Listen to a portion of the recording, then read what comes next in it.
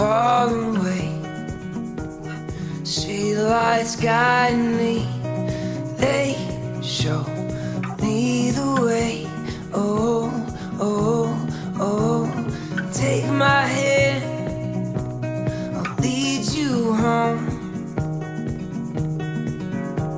Escape our fate and walk alone.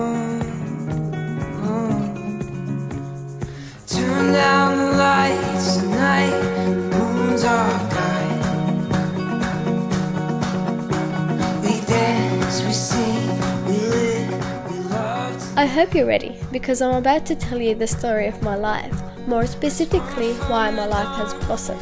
And if you're reading this letter, you are the reason why. Dear Sam, remember when you first walked into my office? I remember you looked at me in shock. That was because you sent me many emails addressing me as a brother, and I didn't bother correcting you and went with it. When I think of your reaction when you first saw me, I still laugh. This was the beginning of many moments of joy that you brought into my life. Throughout our relationship, you have given me many reasons to respect you, look up to you, and to love you. Today, you have given me reasons to marry you. And here I tell you some of those reasons why. Your kindness, thoughtfulness, and passion to help others amaze me every day. Alhamdulillah. Your sense of humor has me laughing at the most inappropriate time. Your interest in everything that I am, from my activism to my shoe addiction, give me so much confidence.